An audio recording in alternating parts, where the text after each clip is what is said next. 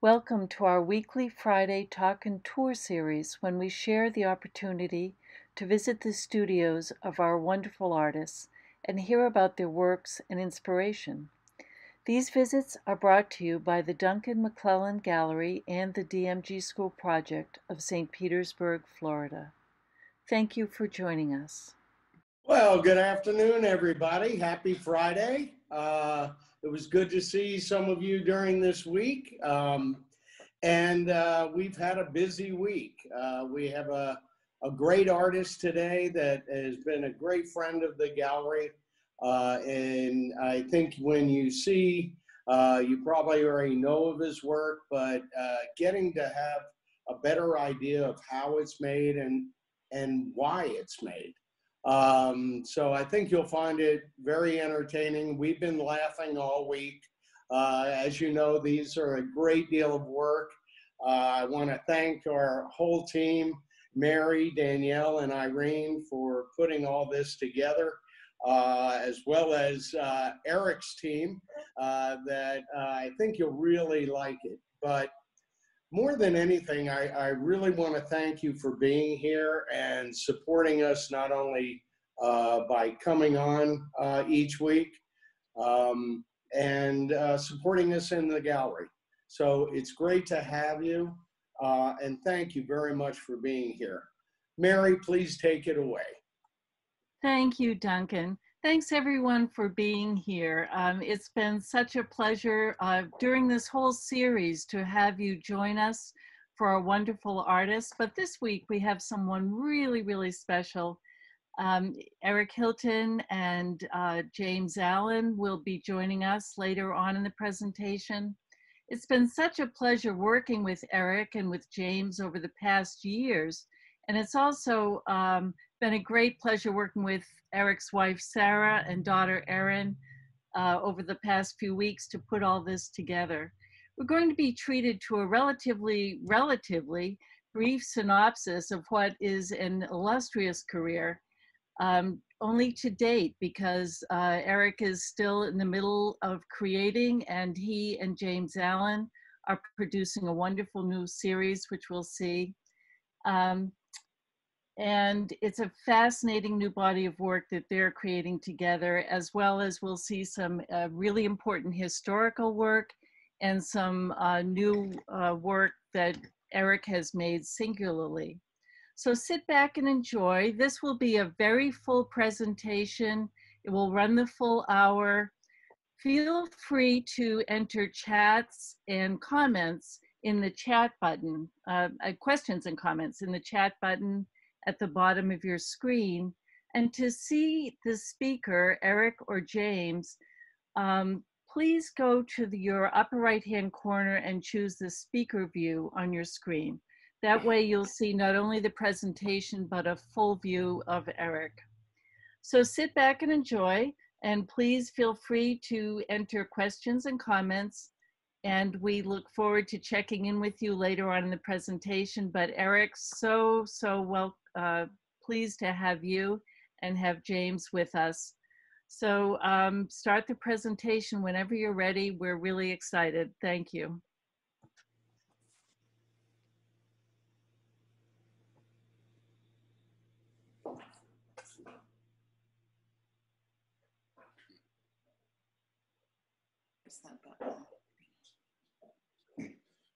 Hi, um, uh, said he.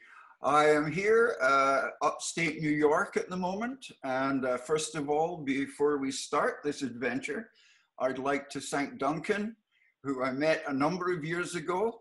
And uh, I realized that his name had Scottish ancestry.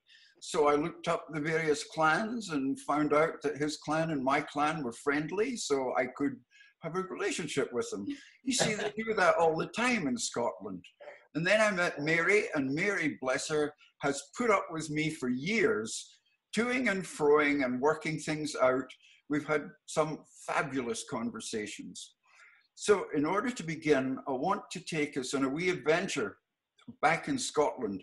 See, the thing about me is, as you know by my accent, I'm from that area and I will never lose my love for it.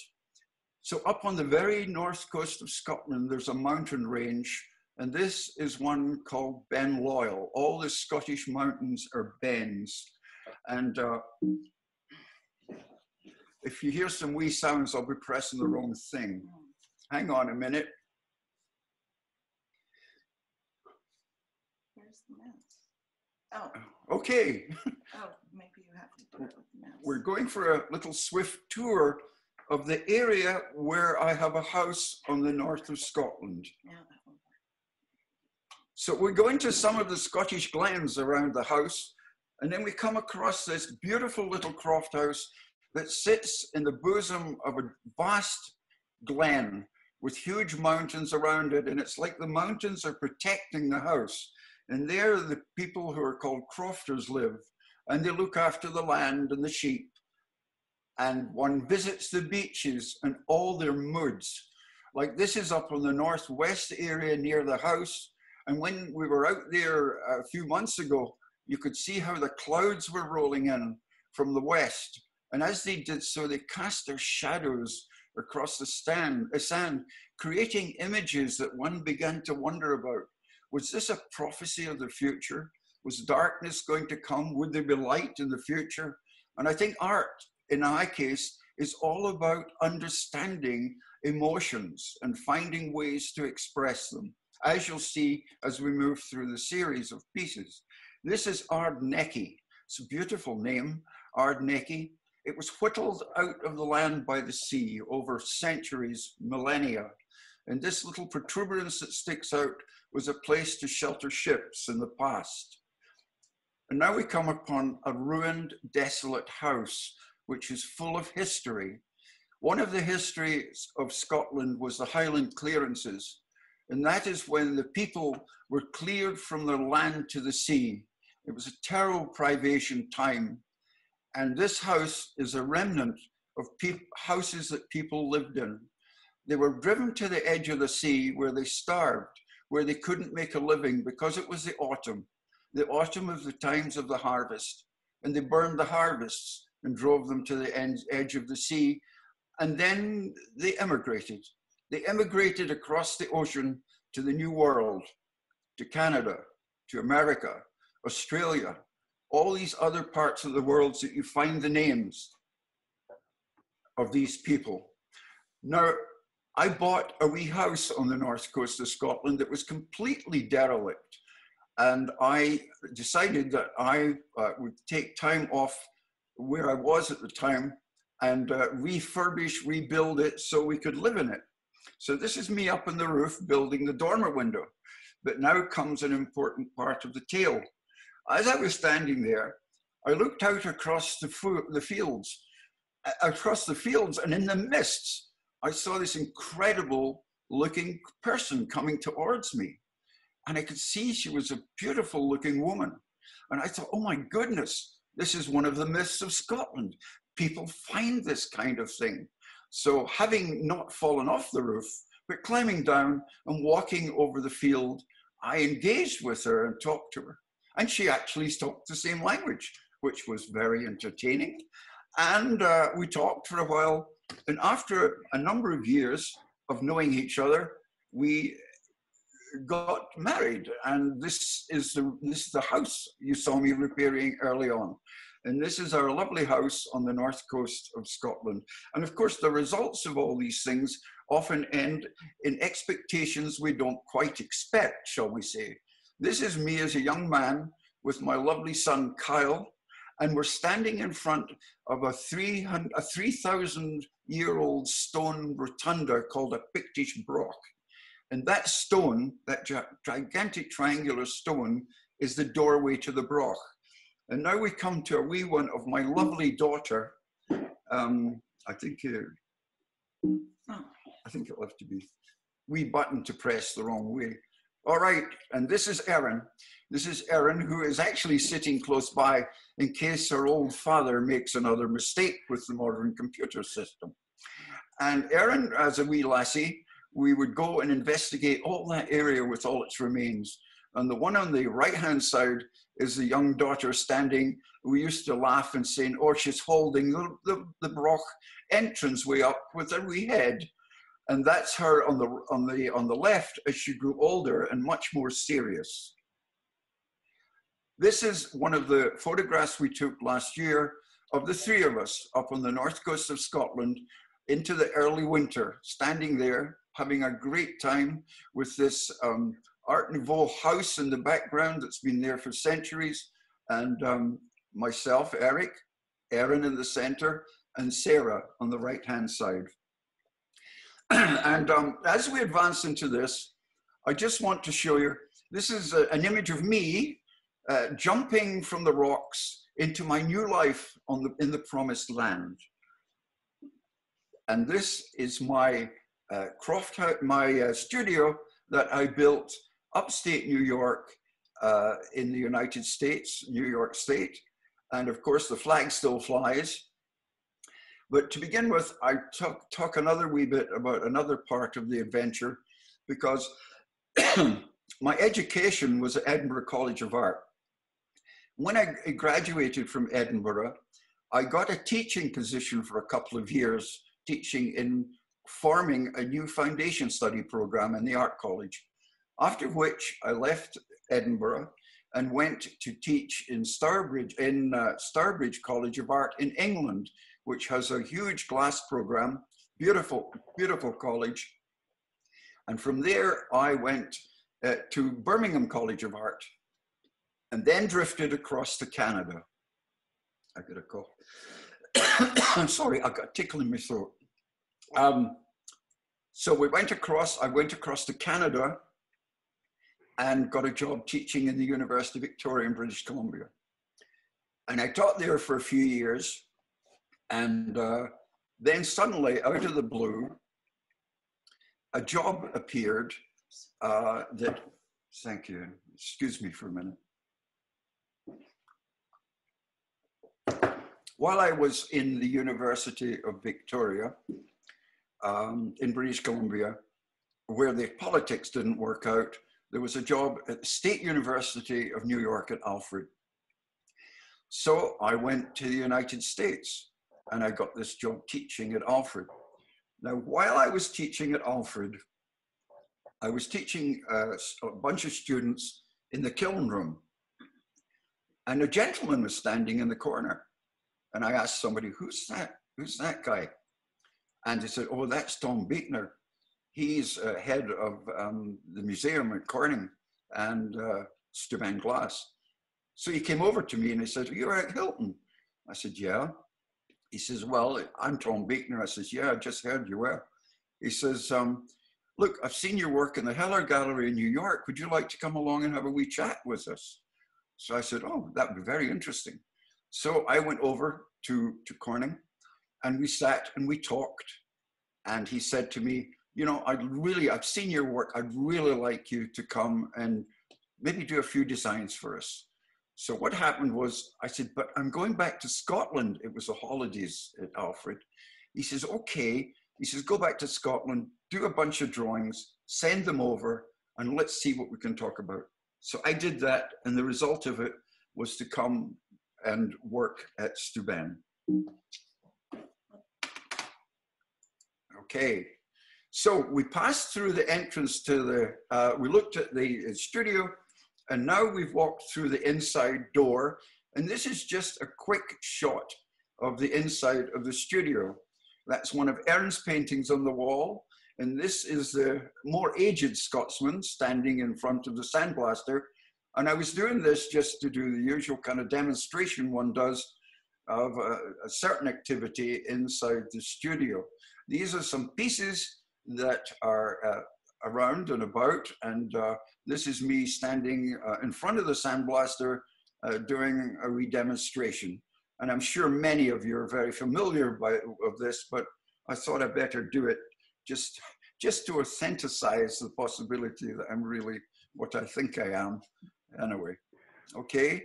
So Erin has taken a shot through the sandblaster while I am holding the tool to sculpt away into the piece of glass.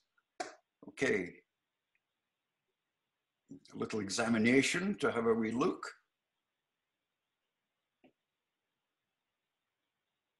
Okay.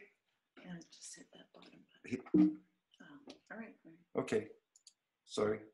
And these are some stills of me um, working on panels. And you can see I do an awful lot of drawing and the drawings are translated into the surface of the resist that is placed on the glass. Then it's cut and then one starts to work and cut away the different parts that are going to be sculpted into and eroded by the sandblasting process. So this is me making some, making some little shapes in the resist in order to sandblast the particular panel which I'm working on. This is uh, the opening in the sandblaster, and this is me playing around with the resist as I'm sandblasting the panel. People have asked me why the gloves are sitting there and who's my helper, but actually they're just the gloves one uses when one's working on the process. I'm showing you this because it's a process happening as I sandblast into the surface of the disc of glass. The resist that is part of the design, uh, or shall we say protecting part of the future design, you can see how the process of sandblasting uh, starts to stain the edges of the resist, marked it with a pencil in order to see what else has to be done. And so one gradually moves from part to part and tries to interplay them together. Uh, this is an interesting one because it's me in an outfit. And I got this commission for the Rockefeller Center, but it was 20 feet tall, 10 feet wide, and made of huge panels. And I didn't have a sandblaster to accommodate that. So I built a hut. And at the end of the hut, I built a sandblast room. But then, never having quite done it this way before, I found that I could probably make up a suit that would help me do it. So I made up this suit, uh, climbed into it, air coming flowing into it, and that's me standing working on the large panel. I had some help in these in these days, and they would help me put the panel on the easel, and I was alone in there, and then we would uh, be protected, or I'd be protected by the outfit. But the funny bit about this is it was 91 degrees outside the hut, and I'm getting very hot in that sandblast suit. So I thought, what am I going to do? So I thought to myself, a bucket of water, fill it with ice, put the tube through it, and it'll cool it as it comes in to let me breathe cool air. So I did that, and I was very happy until it started to rain inside the sandblast outfit due to the humidity outside. This is the result of what you just saw on the previous slide. This is 20 feet by 10 standing in the Rockefeller Center uh, off 6th Avenue in the Simon and Schuster building. Um, this was a great fun, um, very challenging from my point of view. And as you can see, all these optical elements have been uh, bonded onto the surface of it once it, the sandblasting process was completed. Now, this is another lovely story because this drawing started off in the north of Scotland. It started off when I went back, as Tom Buechner has said, go and do some drawings and bring them back to us. So I brought them back and we selected this one, which actually is now in the collection at the museum. It's called Innerland. And as you can see, it's made up of combined uh, joining of cubes together with sandblasting and engraving imagery in them. And then the, most, the thing that always interests me is this business of illusion and color and how what we think about may not really be what it is. So when you look into this piece, because of the refraction and reflection and the way it starts to dance, the way it's been cut and polished, you see in the center the focal point of an egg, the focal point of a cell, surrounded as it were by the protection of symbolic castle walls. And then you enter into a landscape and you're invited to walk and you're invited to invent into that landscape what you want to imagine. And actually, it was in a big exhibition in New York, and you couldn't get near it for children. They were inside it, they were walking around in their heads, they were talking about it. It was so wonderful to see their imagination being stimulated by this work. I'm showing you this particular piece because it's one that actually James and I are working on at the moment. And uh, this is a drawing for it. And as you can see, I've put tiny wee marks on all the lines. And the reason for that is that it's to let me see exactly what I'm doing when I'm sandblasting it. Um, you'll see more about this kind of process when James and I are talking together a wee bit further on in, the, in, in this uh, talk. This is the result of that that you just saw. So these, all these lines, and little, little lines across the lines indicated where I was going to sandblast these different parts. And then I eroded, of course, away the glass into what I felt I wanted to have. This one's, Erin and I often wander around together talking about nature, as James and I do uh, many, many times when we're in company with each other. And this particular last, last uh, winter, we were walking down in the woods and Erin said, look at that face. I said, wait a minute, where? And there it was in the ice. The ice had cracked in such a way that it looked like strange, some strange line drawing of a being that was floating above the leaves, like it was in action, like it was moving with purpose. And from that, because I was involved in another project, actually with Steuben, about an eagle. So I worked on an eagle because there was a big similarity in the thoughts of purpose. That, that ice drawing, shall we say, looked like it was really intent. So I made it intent by changing it into an eagle's head. So the eagle's head, as it were, is coming through the whirling vortex for some purpose. And this is just a drawing for, for a, an investigation, which later became a project, which you'll see in the next one. But this is the way I seem to see things often and turn them into linear concepts with shading, with tonal qualities, so you begin to see these strange depths developing. This is the result of it. These are the boardroom doors for S.C. Johnson in Racine in Wisconsin. you can see it's another panel design. And once again, it's got carved uh, pyramid forms and it's got, they have little brass caps on them and I laughed when the, when I got the commission and we were talking about it, the ins and outs of, you know, this is my vision. And they said, look, you do what you want, but there's only one thing. Make sure it's totally opaque. Make sure nobody can see into the boardroom. I guess it's, uh, you know, the same kind of things that people don't want to see that goes on in boardrooms. But anyway, this is a large panel that could be adopted or adapted into perhaps a door. This is my dear friend Tim Wells, and he lives uh, about five or six miles away in the village of Watkins Glen, and he's British, and he does these, he's incredible wood sculptor. He works in all sorts of different forms in wood. And this is a very simple frame, but we built this frame just to see how this panel would look. And this is us, he's delivering it to the studio, and this is us looking at it in the sunlight let's go to Queen's College. And I've got this commission for this disc in the Dean's Administration Building. This disc is about 12 feet in diameter. And once again, you can see the process of the deep carving with added optical elements. The two discs in the center, which you'll see evidence of later on in another piece, these discs were blown by George Kennard down in the studio at Corning and in the inside of them was was was was was um, an encasement of blue, a gather of blue inside the clear, and I sandblasted through the blue into the clear. Now you won't see it very well on the slide, but you'll see it later on because inside there's movement. So as the students would come out into the Dean's administration building, these things would twiddle and wink at them.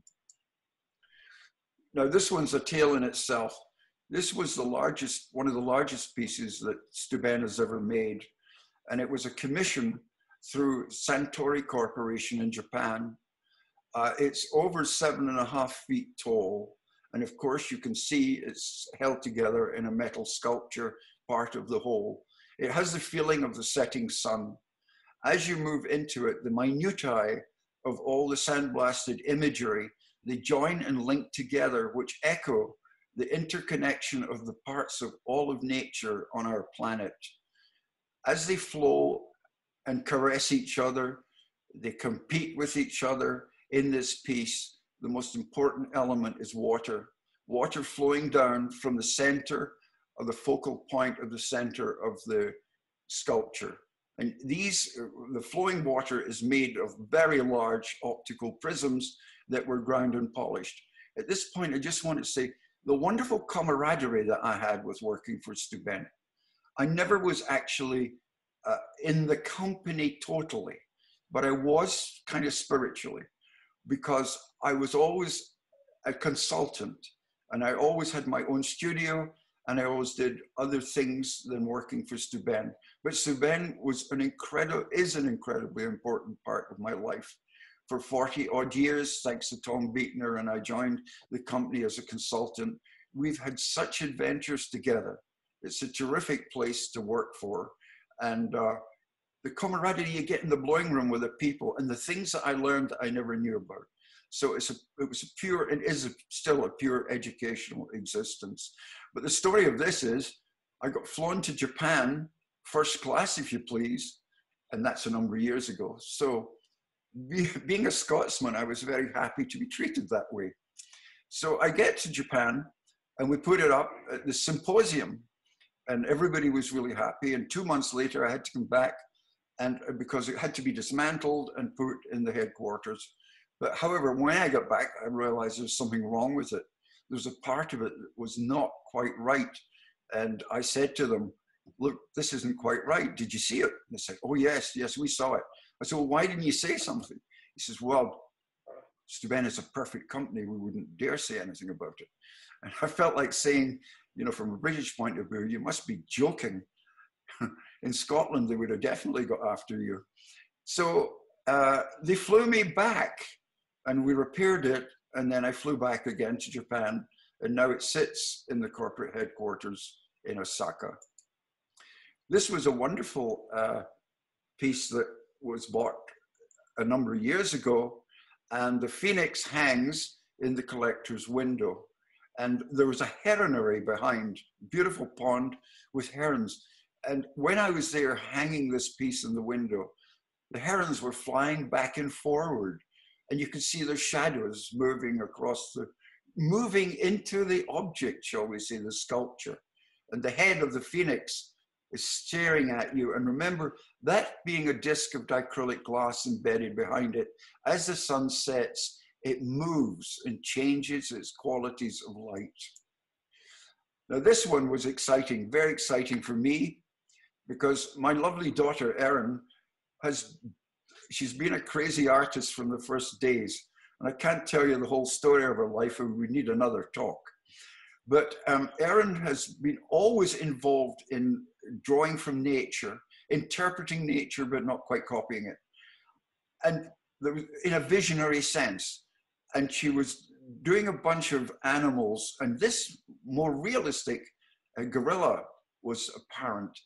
And somebody at Steuben saw this. It was the design design department saw it, and we talked about this. And they said, you know, we've been looking for a piece about a gorilla.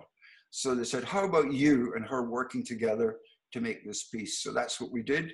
This is the result of her drawing and me doing the shape of the glass. And I think I did the uh, decorative uh, growth systems in between. This is a commemorative piece to Martin Luther King. It stands in Albany in the headquarters. In this piece, you have four columns rising, and the tops of the columns are cut in a certain way that the pyramid rising meets with the tops of the columns, which echoes the heavens coming down to the seeds of enlightenment. On the column, which is made by cuts in the four columns of glass, there are fine lines engraved with tiny, tiny jewel like lenses. The lenses rise to the apex, and when you wander around the piece, the jewels float in space, like they're, they're programmed out into everything. And enlightenment is so vital to our species that it's such a fantastically poignant piece at this time. Okay, this is a little uh, lighter vein, uh, perhaps not for the guys that drove it, but um, Watkins Glen Grand Prix Trophy. This is a few years ago. and Steuben got a job, got a commission to do a trophy for Watkins Glen, which is not far from where we live. So I designed it and we made it in the studio. Uh, and this is it just as it sits uh, in the exhibition room. But I'm just including this one because this is the Mad Artist, was the team that won the, uh, the prize with the uh, piece of the trophy sitting in the foreground. Now, this available work uh, situation is to do with a certain gallery.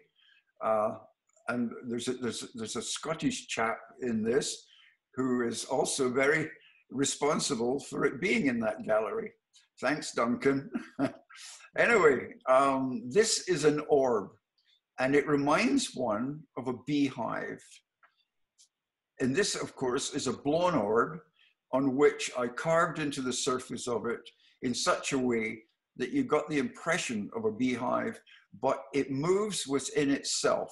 So the back and the front, because you can't quite focus on them, you're forced to see them in a certain dimensional, uh, shall we say, almost instability. On the top of it, on the on the underside of it, is a hemisphere, a hemisphere with engraving, with certain engravings symbolic of whatever you want them to think about them to be. Now, this is a wee, uh, just quick around on the studio. And um, Erin just took this and uh, just to show it in the lecture. And these are a number of pieces that are sitting on the table uh, in the studio just to show you my drawings. I do an awful lot of drawings. Oh, by the way, that happens to be Erin's gorilla sitting there looking at us. And her elephant also? It, no, it's not engraved yet, but it might happen. I just love that engraving she did of the, the elephant. Uh, sorry, drawing, or, beg your pardon. Um, Guardian. Guardian is a large piece that some um, 60 inches tall. I believe that's the size of it. And it's deeply sandblasted, again, with a disc in the center that is affected by the systems of light caressing it. The piece, uh, again, was in two parts in uh, a structural metal frame. Winter's Eye. Winter's Eye sits looking at us as it approaches. In the center is this eye, the eye of winter, as it looks at us as we move around the piece. Again, the dichroic reflects in the casting that is part of the eye, which is bonded onto the disc. The disc, of course, is water cut, as I maybe didn't say, so are many of them. In it, there are lenses cut uh, with small uh, spheres bonded onto the lenses, at the bottom of which is the symbol of ice on which this form sits. There's your eye. The winking, non winking, darkness, the eye of winter. The threshold, a threshold, in which direction do you want to take when you enter it? The threshold, of course, is sculpted sandblasted glass in which the same process as I've already discussed is bonded on as the focal point of it as one begins to look at the vortex in the center. The lower piece is a large element of, of sag polished and sandblasted glass, which sits within the bottom frame. So you've got two directions in the threshold, the one that leads heavenwards, and I won't tell you where the other one could lead. this is the center of that exact piece.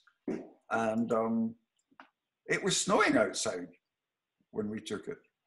Just to give you an idea of what happens when you move looking at the center of the piece, the center of the sculpture. On the top, you see a certain depth in the depth of the sandblasting.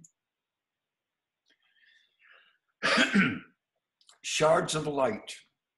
Shards of light, again, describing the form, is a disc where thin sheets of glass have been cut and bonded almost like a pineapple around the outside of the central disk. When one looks at it under different lighting conditions, they shimmer. They shimmer like shards of light. It rises from a cone, a cone which has a hole like a volcano through the center of it, again with texture which originally started with tinfoil. Of course, it's sagged, cut, and polished. It rises into this disc, again with the dichroic material, which we're going to talk about later on. Eric, may I interrupt you for a minute? Sure. Um, are those centers blown? And if so, are they blown in layers? I, I'm sorry, I didn't quite get Are that. the centers blown? No, oh, I'm sorry. You, you- you'll see about the centers in a wee minute, actually. the centers are discs of glass that have been sandblasted and um, have been sagged in a kiln so that you get a plate-like form. In the center of it, I cut a lens. So the sandblasting imagery, the cut in the center is a lens, and there's another one added to the back, which is the same as the front. So again, you look into this magical land in the center. Tiny, tiny impression of what's on the outside. In this one, there are two formed pieces of glass lying parallel to each other in this frame that is holding the piece together. So you look through the flames uh, beyond each other or into each other. In the center down there, what you're having is this disc. But the interesting other part that isn't so terrific in the photograph, it's when I made the bottom part, I remelted glass by simply taking a block of glass, heating it to 350 degrees, putting it in a bucket of, a bucket of water so it all shattered, and then I reassembled it in a mold. And as it melted and fused together, it formed these very beautiful veils with tiny bubbles and they looked like the Hubble telescope looking out into, into interstellar space. These incredible photographs we now get of the universe through our abilities to examine it. And uh, that's how this one was made. Um, in fact, here's a wee photograph. Now, a little video that we put. You see in the arc of the bottom, you can see the density in this image because of the lighting of how these mists are all positioned in the curve of the underside of the piece and more of an idea of the, the depth in the sandblasting on the flames on the top. So Erin uh, took a small uh, slide, of, a small video of this, so you start seeing us peering into the interior of it. Eric, we have several comments that I'd like to address. Um, one is from Naomi Frangos, who says that your Innerland inspired her students' work and they just won an award. So thank you, Eric. Oh, that's Uh, wonderful. Yeah. yeah. Oh, she, she's wonderful. I mean, I, I she was at, teaching at Cornell and we talked together and she actually came and visited the studio and we had a great chat together about possibilities that she's into, which are absolutely magical and way out there somewhere too. It's great, isn't it? It is. Also, greetings from Ava and Richard Klein, who are watching today. Oh, wonderful. That's terrific. Skein of life. We all exist within it. And in this one, two inverted cones are placed together, bonded together, with this almost a feeling of graffiti, em, em, uh, sorry, engraved into the under surface of them. And of course, as you move around it, you've got to remember all this stationery, all is meant to be moved around because all of my work in, invites movement, invites the audience, invites the person to go into it and have an adventure. They're all sort of symbols of entry into adventures. So in this instance, you see the flames arriving and hovering around the center of this golden disc. But that again is an illusion because that disc changes color. And you're going to be amazed in a minute when James and I discuss exactly what's where this where this has gone. So we'll keep moving. And this gatekeeper, the gatekeeper, would you dare open the gatekeeper? What's the gatekeeper telling you? Is it saying, do enter, it's wonderful in here? Or are they saying something more threatening? At the bottom of this piece, there's a cast disc.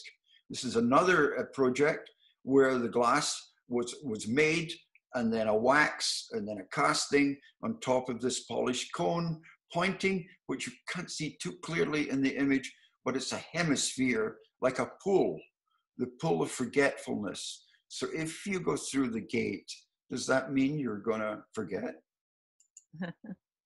this is this is one of my favorite ones that is in the gallery. Regeneration. Regeneration is a fairly large piece. I, I think it's 36 inches in diameter. And again, it's a, it's a disc of glass that was water jet cut, and I sandblasted the images of the leaf-like forms blossoming out from the central core. In the bottom, there is a little pocket of little jewel-like glass spheres, and they're encased in the base of the piece. Of course, the, the thing that is actually happening is these, these spheres are waiting to rise up into the center, to the center of the eye, the energy of life, and become these very leaves that are floating around the outside of it.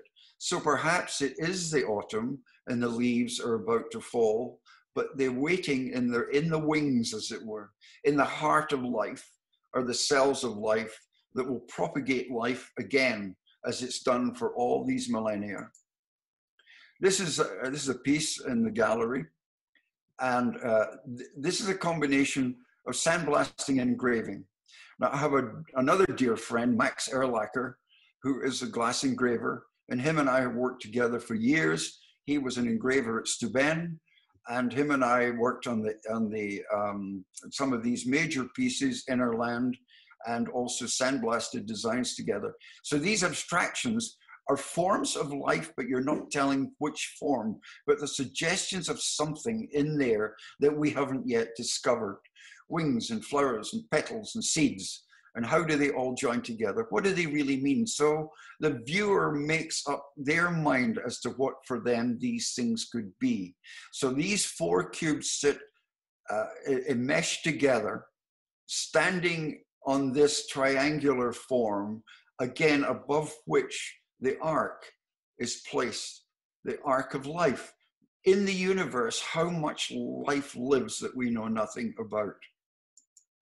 This is a close-up of the engraving of the bottom uh, cube that sits at the vortex of the piece. And this one uh, is magical. Uh, I, I believe Mary, when I saw her the last time, said, I can't take my eyes off this one, she said, because when you look into the base of it, this wave goes on forever. it's a mirrored box. And inside, I sagged the form of a wave, ground and polished the usual way, placed it in an, under an illumination underneath, above which four cubes are engraved, showing the type of life that may lie within the sea, but the excitement also is when you walk around it, it's never ending. Our ties are never ending, we hope, forever, as long as we can have them here. As the sun set on this piece, it turned it golden. You can see the sun setting in the trees beyond the studio. It sits in the studio window. Studio is buried up on the top of the woods in an opening in the forest.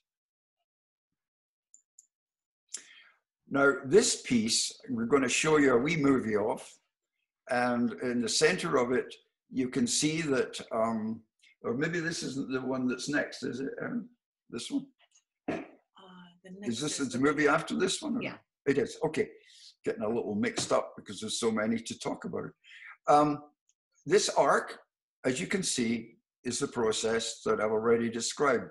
The disc is the same process as you're going to see in a second. This is one that Erin just shot for a moment in the studio. That's the artist examining it, shall we say. You've got to caress your piece after you made it, you see. But anyway, this is the method by which it was made. So I sandblasted the glass, I bent it, and I, I created this model of the bird's head, whatever kind of bird it is, shall we say. And this is the wax that was made from you, the piece that you've just seen, the prototype piece.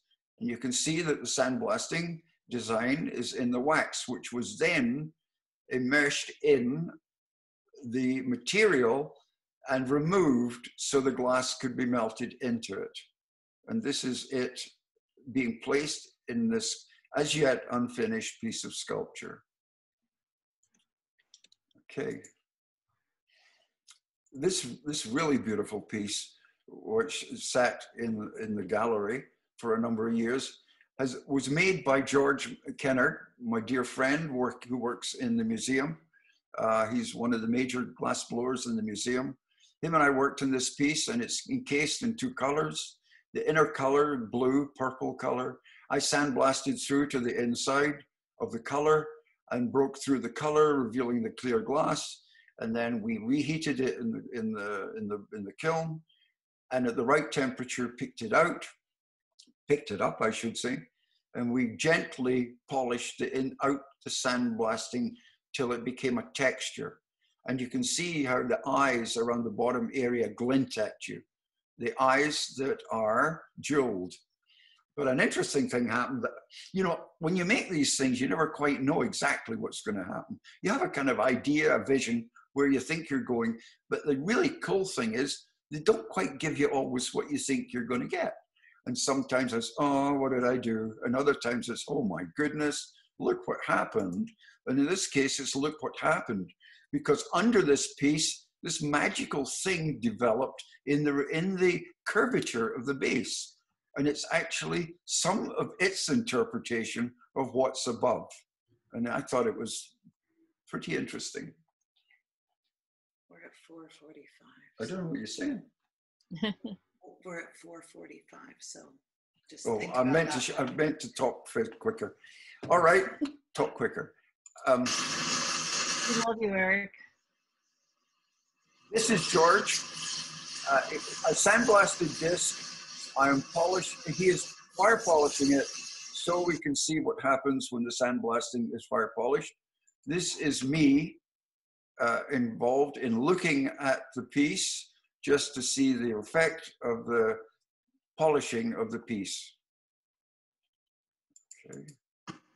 This is George in the blowing room together with me, and we're uh, making the base for the next couple of pieces I'm going to show you. He's making the piece, and this is the orb that was made uh, with the sandblasted uh, protection, which is then sandblasted in the way that I wanted to sculpt it, ending up as this form. So there's a series of these that we've just made of orbs uh, mounted on crystal forms, like you can see here. Okay.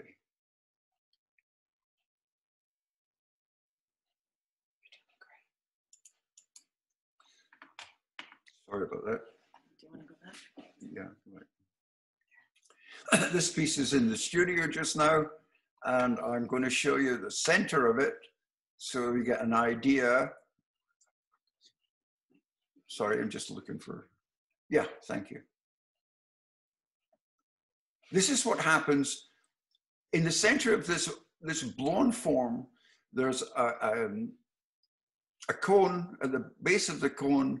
There is a, it's a lens cut that looks like an eye, and when you move around the piece, it interreflects and stares at you like a tiny eye watching you. Uh, here's another view of the artist working on one of these orbs.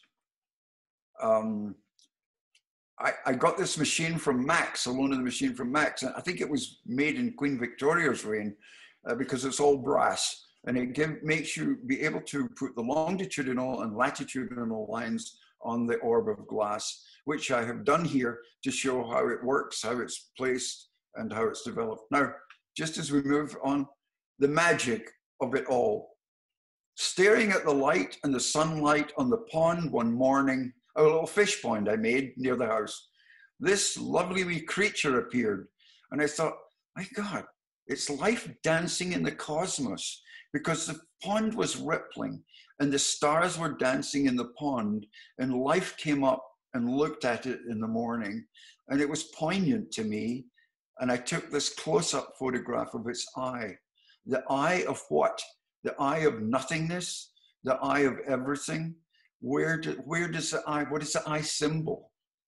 Symbol of it. Or a jewel casually dropped by the natural world. Or this one of this little dragonfly being born and we looked at the eye and I grabbed the close-up lens on the camera and took some photographs of the precision of the eye of the dragonfly. And it was warmed by the sun as it was born. It opened its wings and it waved goodbye and we never saw it again. I'm showing you this one is, uh, uh, I'm showing you this because it's to do with color and to do with the fact of light the evening and the sun is shining on the fall trees and the light from the leaves is reflected into the piece. Okay. Now, this is James and I coming. Uh, James, you're still there. okay. I'm still here. Oh, is it? Should I wake up now? Okay. Uh, don't waking up, will you? Honestly, honestly, you know, when you've been friends this long, you don't know what's going to happen. But anyway, aye. aye. So this is the center of a piece, and uh, this actually has got poignant significance to James and I. So James, you say something now. okay, my turn to talk. All right. Yeah, your turn. Um, yeah.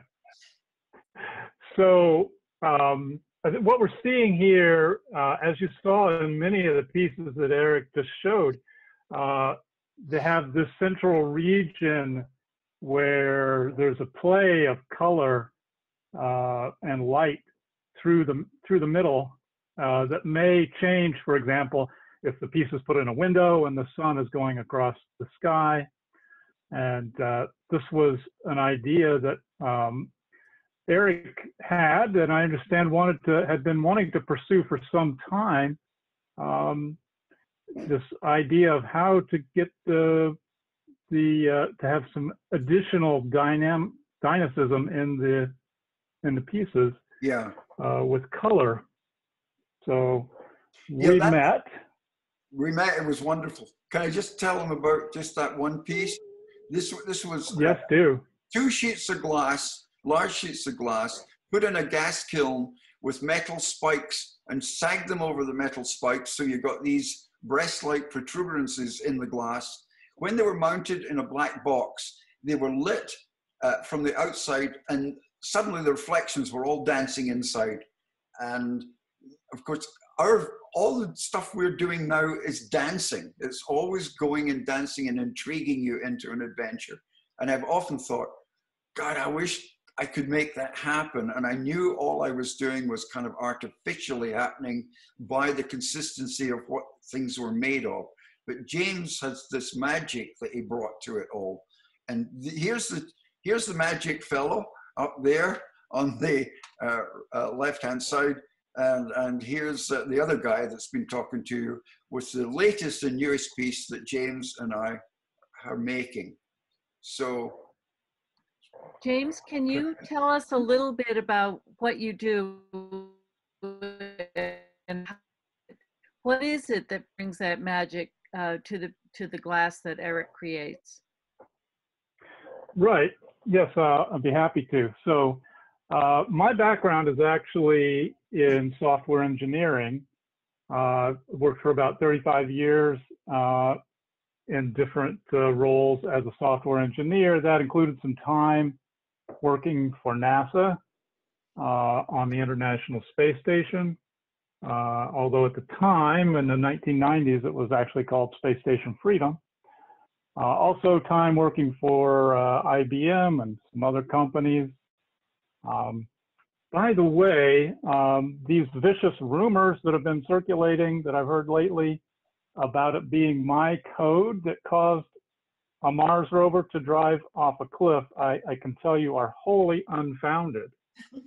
Um, it really, it was just a shelf a few feet high. It was not a cliff at all. right. Um, so yeah, all during this time, I've had a uh, on the side this love affair with abstract art and animated imagery, and also uh, glass art. And so what what I um, what I'm bringing to our work here is um, this animated imagery that I create through custom software that is uh, unique to each piece that we make. And one of the things that's uh, notable about it is that it's not a video. Um, it's actually the software runs in real time as you're looking at the piece, and it's not a loop. Um, there are common themes that run throughout the piece, um, but each time they appear, they're subtly different. And that may be in uh, color or form or the way that they move with within the piece. Thank you, James. And I believe you have some examples that are coming up. Yes. Okay, uh, th- this is the first piece James and I ever made. Uh, this was the first adventure we had, Ephemeral Light. But James and I fell in love with each other because of my son and his lovely daughter. Because James was invited with my son and, and his daughter uh, to have a wee cup of tea together. And we got talking together and we began to realize there was some real interest in what we were talking about. So uh, actually, James uh, and I are still together. Uh, Kyle and his lovely daughter parted, but the seeds were set, and James and I are still having a fantastic relationship together. Sorry, I just had to say that. no, that's a great story.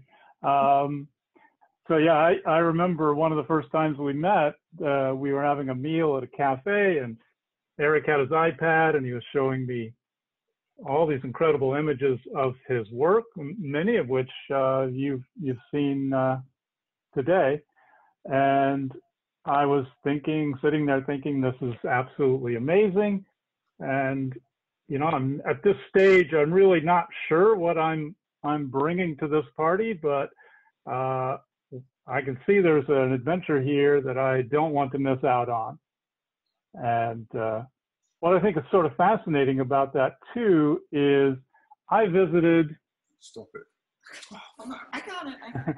I, I, Sorry about that. I visited Corning Corning Museum of Glass many times over the last 40 years, and you know, looking at wonder with all these amazing pieces, uh, including Innerland, uh, uh, which is Eric's piece, and had no clue that someday, you know, I would be maybe a little piece of the story that uh, you know keeps going on and on in the glass art world. I'll flick this one. Okay. This this is an amazing part of the story you're about to see.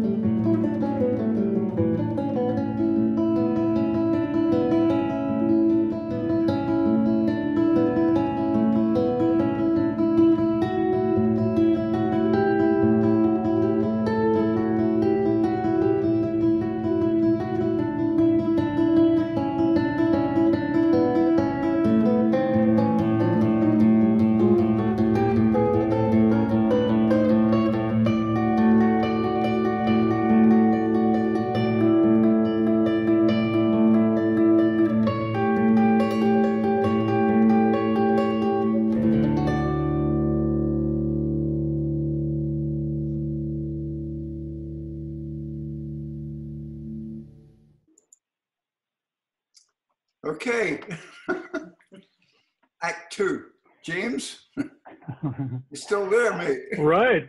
Okay. So, So, uh, that, that is that is a composite together of various aspects of these pieces. Um, one of them is in the, the, the, the one of the two discs coming together is in the Imagine Museum in St. Petersburg. And of course, the one, the, the central one, which you're now looking at, a composite of it, is uh, behind Duncan on the wall somewhere. okay, sorry, James. Oh no, that's great. So this is uh, our yeah. The video shows our Mysterium series of works. That's that's what we've called our collaborations. And uh, Mysterium Magnum is a Latin term used by ancient alchemists, and it means great mystery.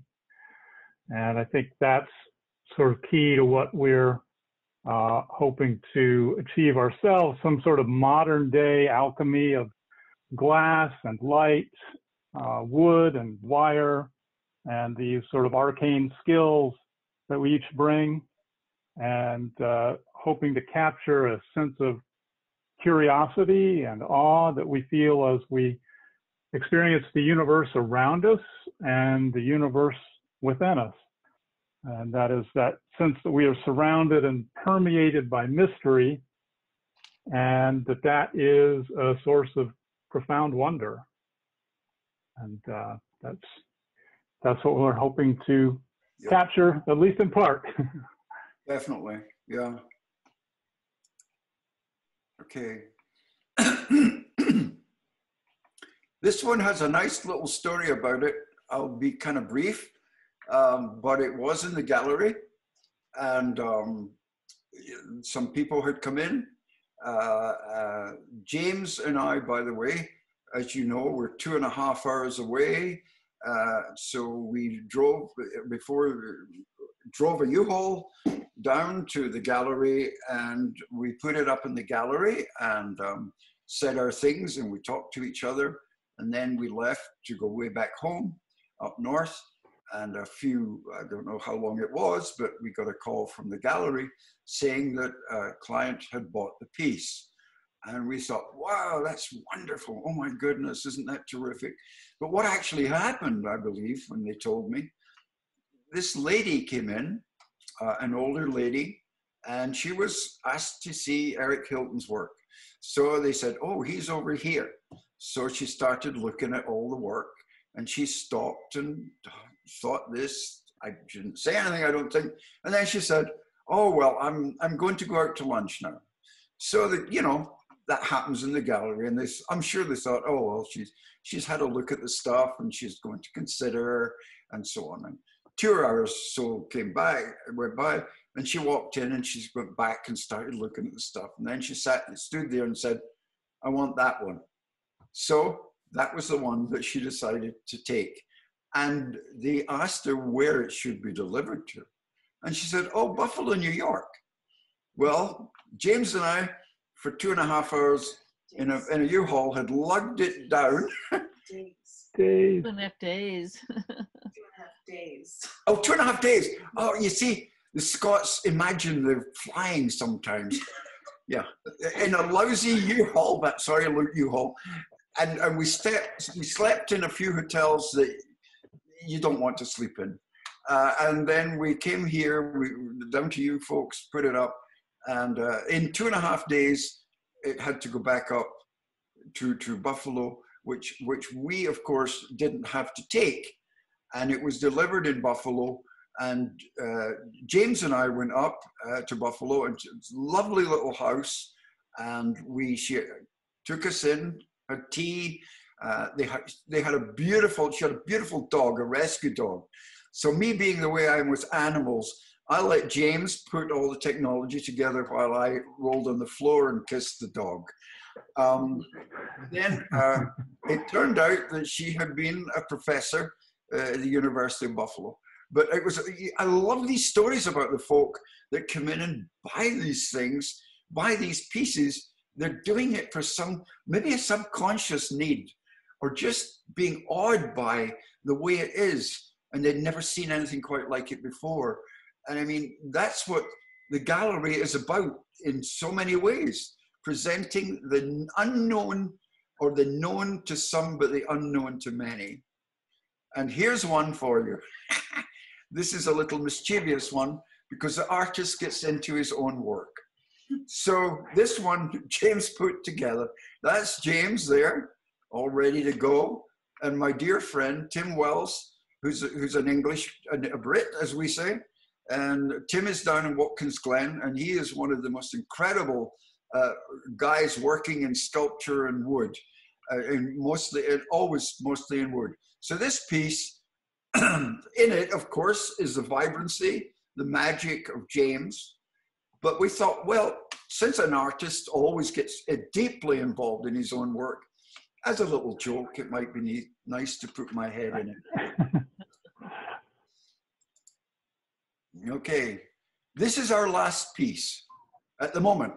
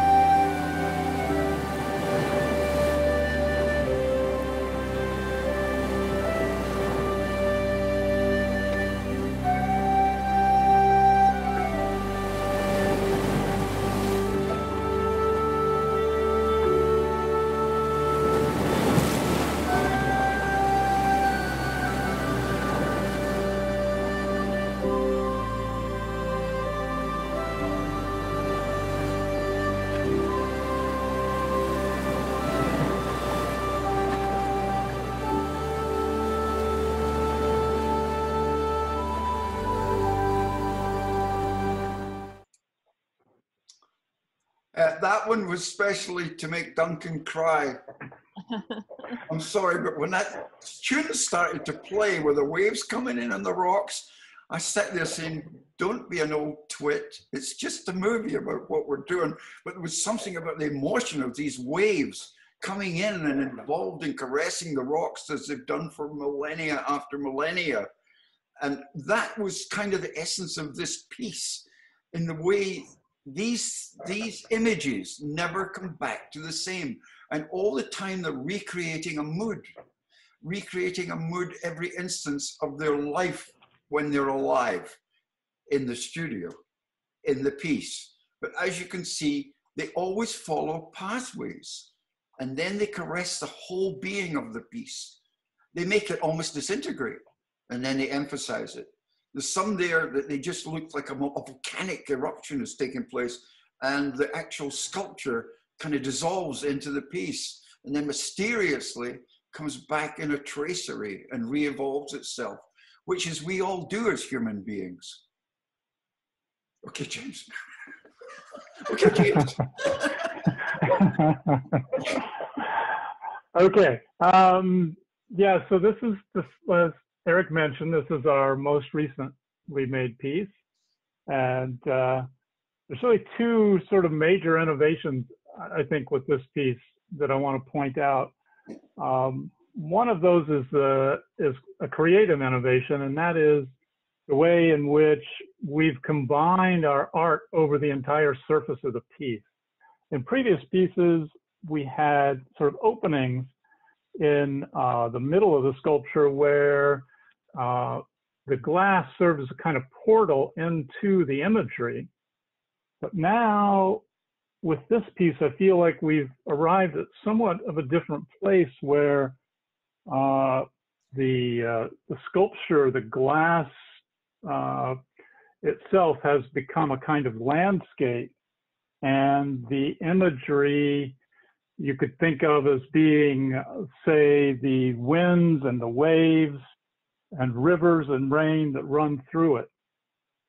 And uh, you know, you know, you might think of it as a uh, the sculpture itself is a novel world and its weather, and the world and the weather are inextricably linked. The second innovation is technical in nature, but also really adds to the um, to the novelty of it, and that's the uh, edge lighting that eliminates the need for uh, shining a spotlight on this piece. So it's got uh, lighting right around the edge of the glass, and that uh, helps to enable a sort of play of shadow and light across the surface as the images are uh, evolving, uh, you know, in their own right.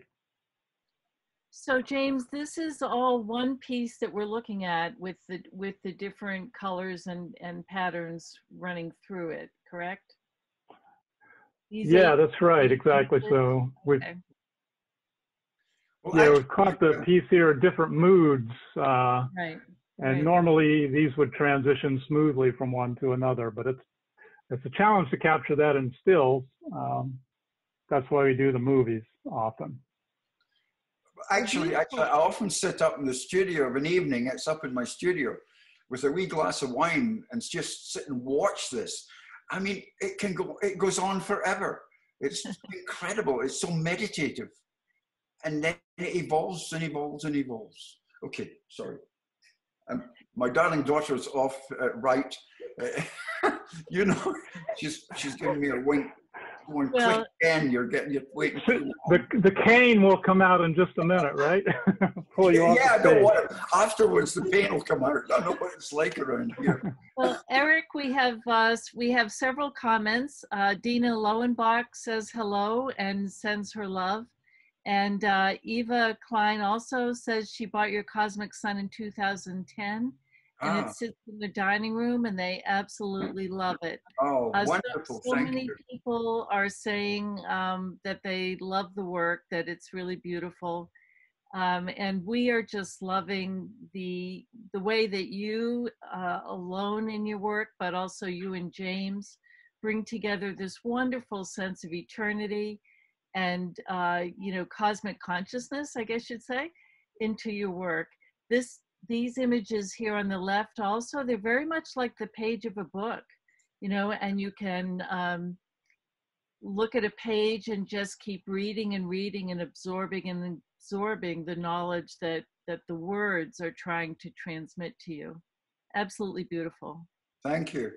Well, just as we come to a conclusion, just want to show you a few brief sketches uh, of just, you know, lifting and putting and looking and seeing where things might go because things evolve. Each thing evolves out of the other in some way, and every direction is suggested by something from the one before and the one to come.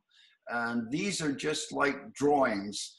I mean, they are actual three dimensional forms, but these were just put together in order to show we don't exactly know where we're going, but we sure are looking to find out.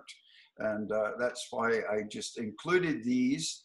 And um, I think uh, what, in, in the end, this is me leaving the north of Scotland, and it showed me a rainbow, which was, I hope you have a good life, and don't forget to come back as if I ever could. And I thought I'd put this in to wish all of us, as we move into the new year, which is not so far along, that the rainbow shines for all of us. And I hope at the end of it, we really find what we want to find in life. Great. Thank you.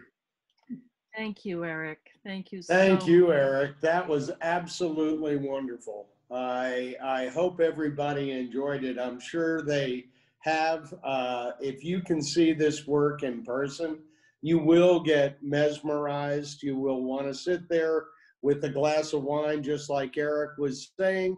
We'll be happy to provide that and give you an experience um, that you can also take home. Uh, but thank you very much uh, for joining us. And thank you, James. Thank you, Eric and Erin and the whole team and all of you for being here this week. Have a great evening. Thank you, Uh, Duncan. Thank you. Thanks, Duncan. It's great to know you, pal. Same here. Okay. All right. Have a great evening. Next week, we will be visiting with Martin Rosol.